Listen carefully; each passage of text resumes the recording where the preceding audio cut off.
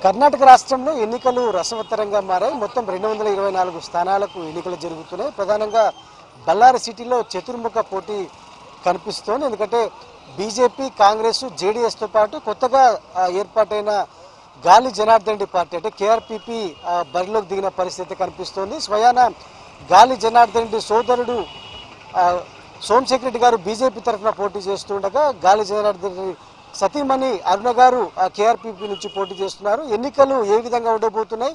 గెలుపు అవకాశాలు ఏ విధంగా ఉండబోతుంది మనతో మాట్లాడేందుకు బీజేపీ అభ్యర్థిగా పోటీ చేస్తున్న గాలి సోమశేఖర్ రెడ్డి గారు మనతో పాటు ఉన్నారు.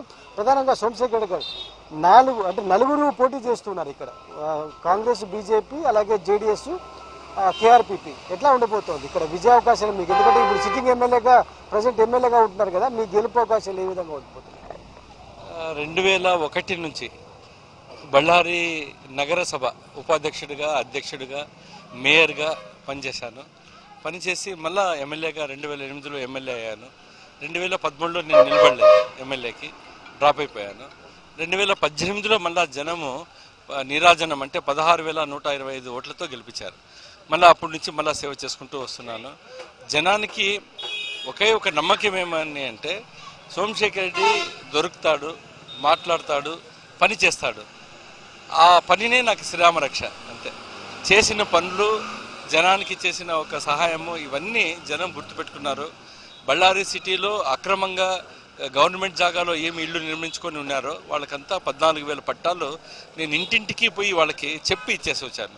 అంటే ఆ పట్టా ఎటువంటి పట్టా అంటే వాళ్ళకి హక్కు వాళ్ళకి మనం ఇచ్చినట్లే. పట్టాతో పాటు రిజిస్ట్రేషన్ చేసి ఇచ్చి ఫామ్ నెంబర్ టూ ఇచ్చి స్కెచ్ ఇచ్చి అంతా చేసేసినాం అంటే అక్కడ ఆ జనం ఏమన్నారు అని అంటే డెబ్బై ఏళ్ళ నుంచి మేము ఇక్కడ ఈ స్లంలో ఉన్నాము మాకు పట్టాలు ఇంతవరకు రాలేదు. అటువంటిది మీరు పట్టాలు ఇచ్చారు కాబట్టి మిమ్మల్ని ఎప్పటికీ మేము మర్చిపోమని చెప్పి జనాలు చెప్తున్నారు. ఆ తర్వాత క్లాస్ పీపుల్ వాళ్ళు ఎక్కడికి పోరు? పెద్ద పెద్ద క్యాస్టుల పిల్లలు వాళ్ళంతా జనంకి ఒక నమ్మకం ఏమంటే సోమశేఖర్కి ఓటేస్తే గెలుస్తాడు పనిచేస్తాడు అనే ఒక నమ్మకం ఉంది. కాబట్టి నేను గెలుస్తానని చెప్పి నమ్మకం నాకు ఉంది కానీ ఈసారి ఎన్నికల్లో మీ సోదరుడు గాలి జనార్దన్ రెడ్డి గారి సతీమణి కూడా కంటెస్ట్ చేస్తున్నారు కేఆర్పీపీ పార్టీ తరఫున. ఆమెతో పోటీ పడ్డ మీకు మీకు ఎట్లా అనిపిస్తుంది? పోటీ చూడండి ఇది ప్రజాప్రభుత్వంలో ఎవరైనా పోటీ చేయొచ్చు. దానికి ఏం తొందర లేదు. ఆమె పోటీ చేస్తూ ఉంది అని అంటే ఇంకా వాళ్ళ పార్టీకి నేను పోలేదనే ఒక ఉద్దేశంతో వాళ్ళు క్యాండిడేట్ని వేసినారు. కాబట్టి ఆమె పోటీ ఏమి నాకు అంతేమి ఇబ్బందికరంగా ఉండదు. ఎప్పుడు ప్రజెంట్ నాకు పోటీ అంటే ఇప్పుడు కాంగ్రెస్ జేడిఎస్ నాకు పోటీ సో గాలి జనార్దన్ రెడ్డి వర్గం చీలిక చీలిక గురైంది బళ్ళారిలో అన్న వాదన కూడా వస్తోంది. సో దీని ఎఫెక్ట్ ఏమన్నా చూపిస్తుంది ఎలక్షన్స్ గాలి జనార్దన్ రెడ్డి ఎప్పుడు పబ్లిక్తో టచ్లో లేడు. ఊరికే ఆయన గాలి జనార్దన్ రెడ్డి పేరు పేరు అని చెప్పి ఉండింది కాబట్టి మేమంతా ఆయన వెనకాల ఉన్నాం కాబట్టి అప్పుడు ఆ ఒక ఇది ఉండింది. ఇప్పుడు ప్రజెంట్ అంటే పక్కా కార్యకర్తలు మాతో పాటునే ఉన్నారు.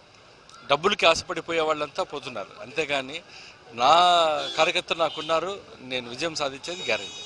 ఇప్పుడు ఇప్పుడు జరుగుతున్న ఎలక్షన్స్లో రిజర్వేషన్లకు ఇష్యూ చాలా నడుస్తోంది కదా. బీజేపీ స్టేట్ వైడ్ ఎట్లా ఉండబోతోంది మంచిది అవుతా ఉంది. ఇప్పుడు మాకి మీ ఆంధ్రాలో కానీ ఎక్కడ కానీ ఏబిసిడి వర్గీకరణ కాలేదు. కానీ ఇక్కడ అయిపోయింది. కాబట్టి లాస్ట్ క్యాబినెట్లో మేము పాస్ చేసి దాన్ని సెంట్రల్ గవర్నమెంట్ కూడా పంపించాము. జనము నమ్మకంతో ఉన్నారు. ఇన్ని రోజులు మాకు అన్యాయం అయింది ఇప్పుడు న్యాయం జరిగింది.